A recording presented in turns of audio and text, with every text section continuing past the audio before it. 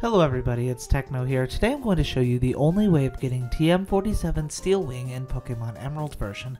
You can start off by visiting Dewford Town, but if you've beaten the game already, you already have this TM, as it's mandatorily given to you throughout the story.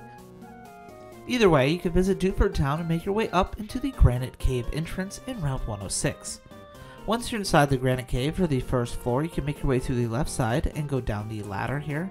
This is pretty much going to be a big zigzag pattern. On this next floor, it's going to be a little dark, so with the help of a Pokemon who can use Flash, you can illuminate a small portion of the room.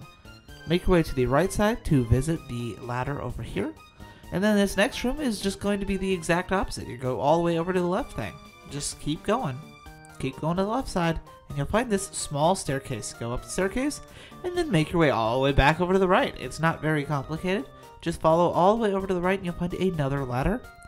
This ladder is a quick ladder. You just go up one more floor like that. And then this is the final room.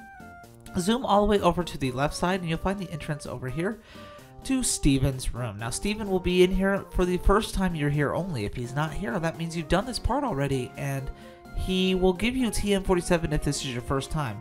But if he's not here, you'll never be able to get this TM ever again. This is the only way of, of getting it. So that's the only way of getting TM47 Steel Wing in Pokemon Emerald version. And of course, if you're interested in more free of fluff video guides like this one, go ahead and click the playlist that's on screen now. I hope you enjoyed, and Techno's out.